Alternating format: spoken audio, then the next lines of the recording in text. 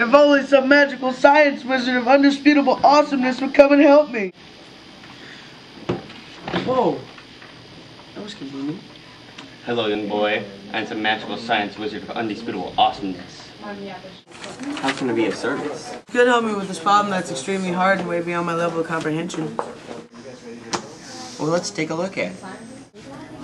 First, tell me what the question is asking for. The question is asking for which group has the most consistent data using this graph. Now give me all the information you know about this problem. What information do you think you need to know for this problem? I think I need to know how to find consistent data. Well, you need to know how to find data ranges. Do you know how to do that? Yes, I do. And then the definition. Okay. But I have a camera. Not for you, no, you, but no. There's someone at the stage. Employee. Um, Jesse, you made a mistake. This isn't averages, this is data ranges. You don't add them up and divide by how many numbers there are. Well, then how do you find the data ranges? You subtract all the smallest number from the largest number, and then you'll get each set for each column.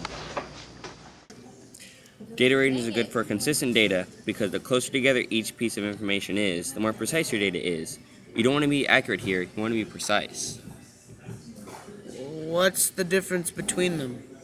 Accuracy is how close your data is to the expected point. Precision is how close your points are to each other. Accuracy is only good when you know what the right answer is. So that way, you know what to strive for. You see what I'm saying? Yeah. But I have a camera. No, you. There's someone at the stage. Thanks, magical wizard.